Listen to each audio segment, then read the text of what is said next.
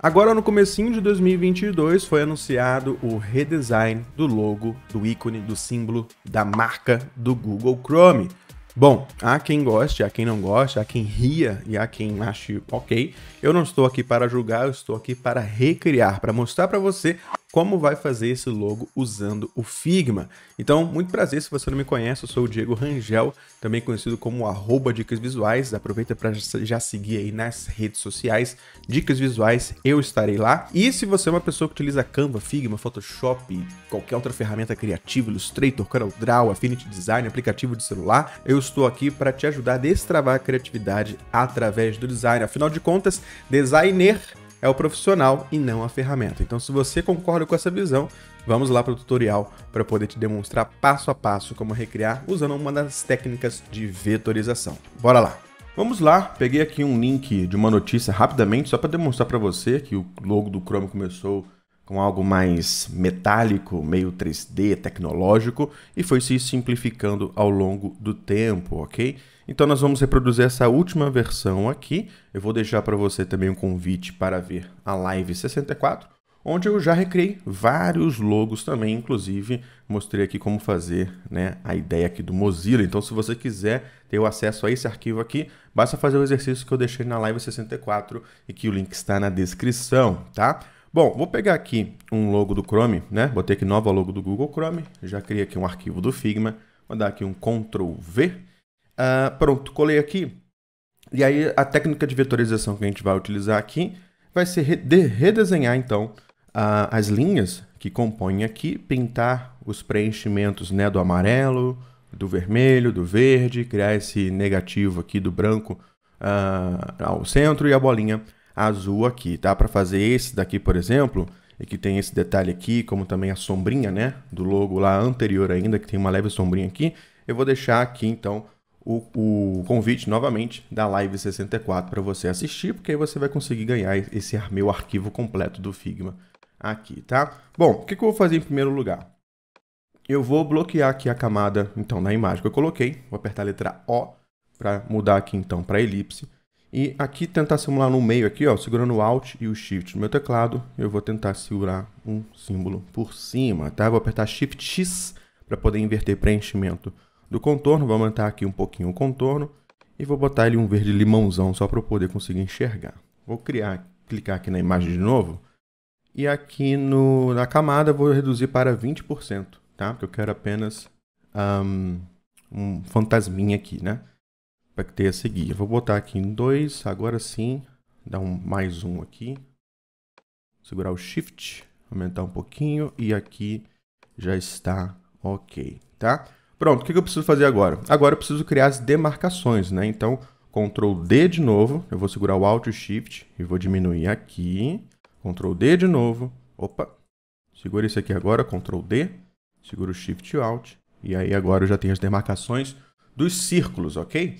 Bom, falta das linhas, né? Então, letra L, e aí eu vou pegar aqui, então vou dar um pouco mais de zoom, e vou tentar pegar uma linha tangente aqui a este círculo aqui do meio, tá? Então ele vai transpassar aqui, botar um pouquinho mais para cá, ok. Tá? Tá aqui. Agora uma, uma letra L aqui em cima. Então, ó, esse círculo aqui está um pouquinho menor. Ajustar aqui no detalhe, Ctrl menos. Você vai usar aí Ctrl menos, Ctrl mais, barra de espaço para poder movimentar, ok? Letra L de novo e ó, a gente dá aqui uma tangente aqui, ó. Encostou aqui, aqui ele já desencostou um pouco, né? Então a gente vai encostar um pouco mais para cá. E pronto. A princípio eu tenho isso daqui. Note que tem que ficar um pouco mais para fora aqui. Aqui vai ficar um pouco mais encostado, né? Eu posso até colocar ele um pouco mais para cima aqui mesmo. Tá? Aqui encostado e aqui para fora. Agora eu vou só repetir o outro lado, né? Vou pegar esse, esse aqui, vou dar um Ctrl D, dupliquei.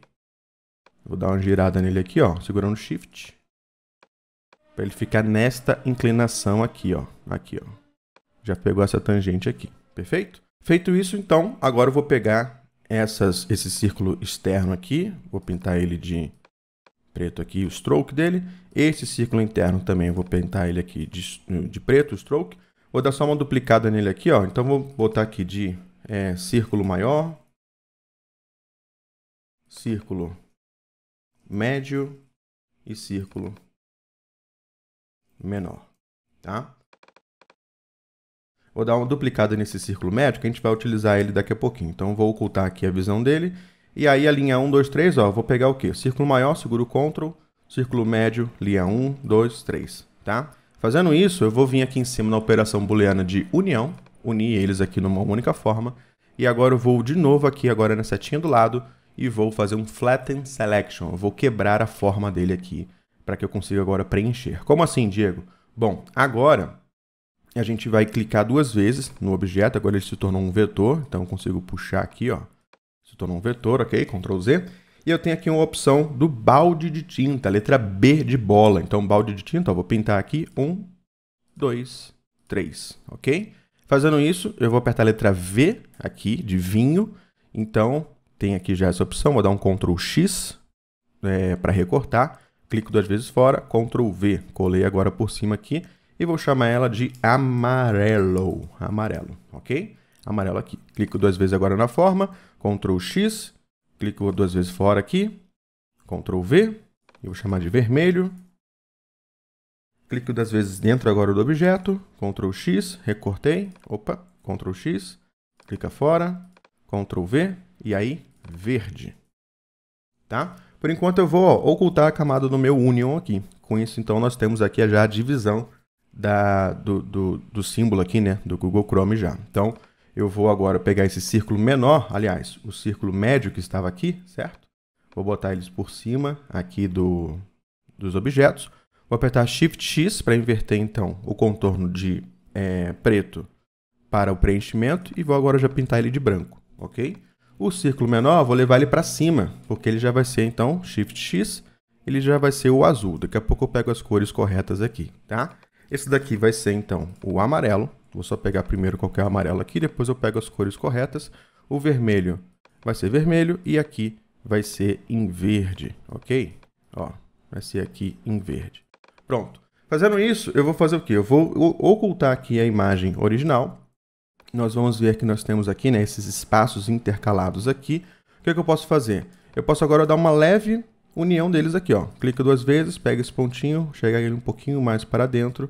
Mesma coisa com o vermelho, pego aqui e chego um pouquinho mais para dentro aqui, tá? Seguro a, a barra de espaço, vou descendo, ó, clicando e puxando para chegar mais ao centro deles aqui. Vamos lá, menos, menos, menos, menos ainda, aqui, ó. Dou um zoom, pego aqui agora essa parte em verde, ó, dá uma puxada, pega esse ponto aqui, dá uma puxada para cá. Não tem problema passar um pouco, porque o círculo branco está por cima e o vermelho também está por cima aqui. Ctrl menos. Agora essa daqui, ó, clica duas vezes no amarelo, puxa para cá, mais para dentro, aqui, menos, zoom aqui, clica duas vezes, vem no vermelho, puxa um pouquinho mais para dentro, ok, menos, aqui agora este de cá clica duas vezes, puxa para dentro, clica duas vezes aqui no amarelo, puxa para dentro. A gente está fazendo a união aqui, né? Menos ainda. E para fechar o verde, né? Clica duas vezes no verde, puxa o ponto dele para dentro, para não ficar vazado, segundo o novo logo, que não é vazado, né? Não tem esses furinhos vazados aí. A princípio, nós temos, então, o logo, né? Então, vou fazer o seguinte, vou só ligar a imagem de novo, vou puxar a imagem para cá, né? Desbloquear a camada aqui. Vou botar aqui 100%, certo? Vou pegar a bolinha aqui, ó, letra I, e aqui, ó, pego esse, aqui depois o vermelho, letra I, pego agora esse vermelho, amarelo, letra I, conta-gotas, e aqui letra I, conta-gotas aqui, tá? Com isso, então, agora nós temos o logo, ó. Vou agrupar todo mundo aqui, ó. Ctrl G para agrupar. Vou chamar aqui de Chrome.